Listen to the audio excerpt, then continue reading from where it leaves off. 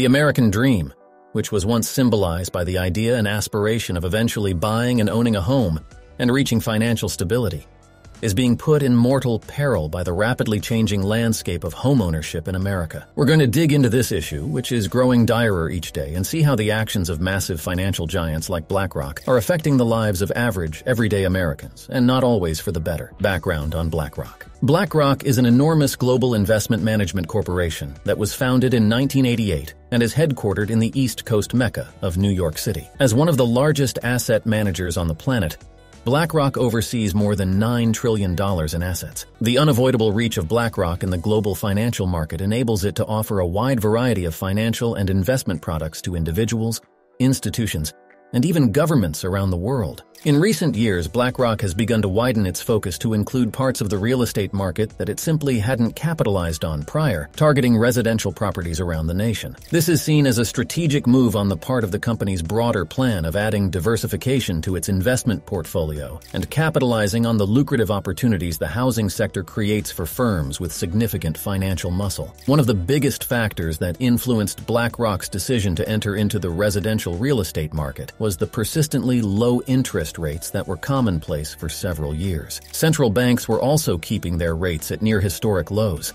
and that pushed BlackRock investors to find channels that were able to generate much higher returns than they were seeing in more conventional investments. Residential real estate offered them an attractive option since it generally creates stable, long-term cash flows as well as the potential for significant ongoing capital appreciation. There's also another factor contributing to BlackRock's rapid rise in residential real estate. This is the shortage of housing that the U.S. experienced for a while. The housing shortage led to a rise in demand and sale prices, making the residential real estate market a much more appealing investment option for institutional investors looking to make a considerable profit from the growing market. To capitalize on these trends, the firm has been actively investing in residential properties, either by buying the properties outright or through real estate investment trusts, REITs, that are focused on single-family homes.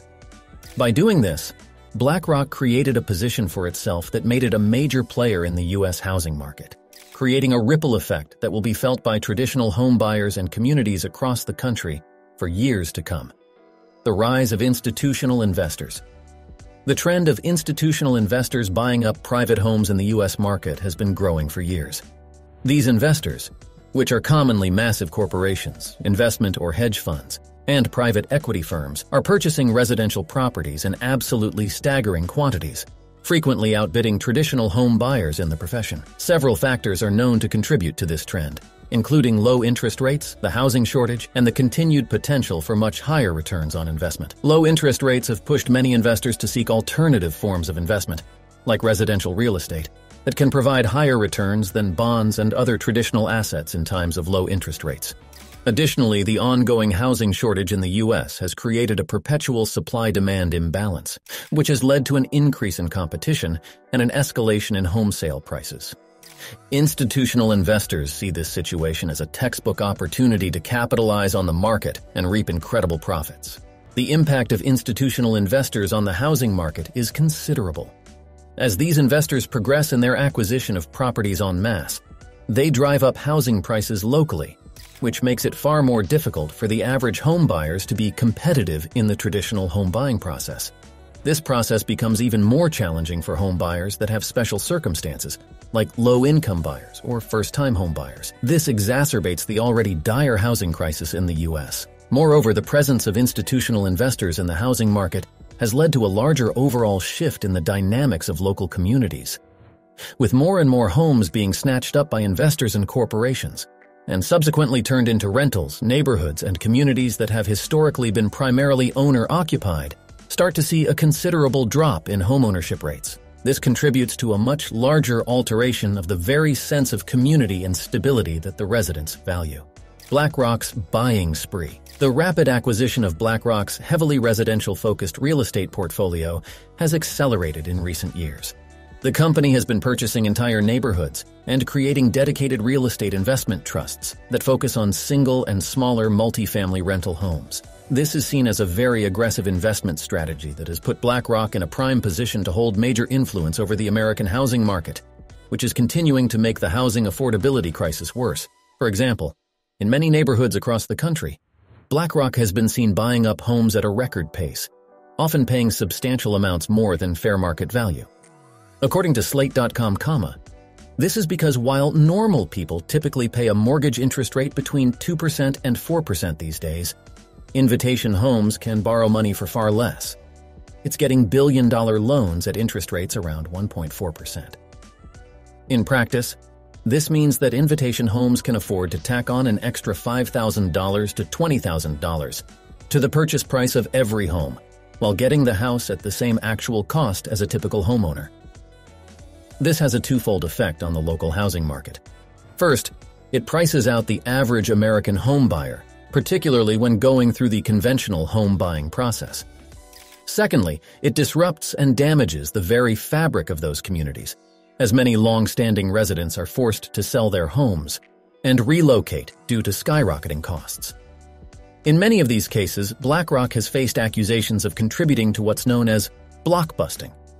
This is what it's called when a single entity, like a single investor or landlord, purchases many homes in a neighborhood, causing property values to suddenly spike, then sells the properties at a substantial profit. Fox News even reports that BlackRock, led by billionaire Laurence Fink, is purchasing entire neighborhoods and converting single-family homes into rentals. While in cities like Houston, investors like Fink account for one quarter of the home purchasers. Blockbusting is known to lead to rapid gentrification, which displaces lower-income residents and fundamentally changes the underlying character and history of the community. BlackRock's immense real estate holdings have also raised some concerns over their level of influence with local housing markets. Holding such a large portion of the market at large, BlackRock has the potential to manipulate housing prices and average rental rates, which can make housing affordability issues even worse for the average American. Their role in the housing affordability crisis is even further complicated by the fact that the company is the pension fund manager for millions of Americans. As a fiduciary, the BlackRock firm is legally obligated to operate and act in the best interests of its clients, which may include investment into residential real estate markets to generate the strong returns that they owe its clients. The problem is that this creates a fundamental conflict of interest since the company's real estate investments contribute to the very same affordability crisis that substantially negatively impacts the financial well-being of the clients whose pensions it manages. Now you can see how BlackRock's aggressive residential real estate investments have led to significant consequences for the greater U.S. housing market, with rising home prices, pricing out individual home buyers, and general disruption of communities across the country. Let's talk about what these consequences mean for the American dream. Consequences for the American dream. The rapidly changing housing market, fueled in no small part by the actions of BlackRock and other companies like them, has caused significant changes and consequences for the American dream. As home prices continue to soar and home buying competition grows more intense, achieving the dream of homeownership becomes more and more of a pipe dream for many average Americans. And with the most vulnerable home buying demographics being first-time buyers and low-income families, those same populations are some of the most deeply affected by these market changes. These market changes are also leading to a larger overarching transition from home ownership to renting, as more and more people are priced out of buying a home. This will have long-term implications for those concerned with wealth building and creating financial stability, since homeownership has traditionally been one of the cornerstone components of the American dream. This shift toward renting can lead to individuals and entire families missing out on some of the key benefits of homeownership, including building equity in a property, benefiting from tax deductions associated with homeownership, and enjoying a far greater sense of security and stability, not to mention control over their living arrangements. Additionally, this decline in homeownership may end up having much more broad implications for American society as a whole. Homeownership has long been associated with increased civic engagement, more positive educational outcomes for children, and stronger overall community ties. As more people are forced into a life of renting, these benefits may diminish over time, possibly even degrading the fabric of neighborhoods and communities. This also begs the larger question, if homeownership is no longer a part of an achievable American dream, what does that mean for Americans and even America as a whole? What does it say about our country if large corporations can facilitate pricing Americans out of the very dream the country stands for? Big questions for sure. Big enough that they may need their video. So let's move on for now. As we examine and consider the existing, ongoing, and potential consequences of the changing housing market on the American dream, it's also critical to look at potential solutions alternatives or workarounds that may be able to help minimize or completely mitigate these effects and ensure that the dream of homeownership remains alive and attainable for future generations to enjoy.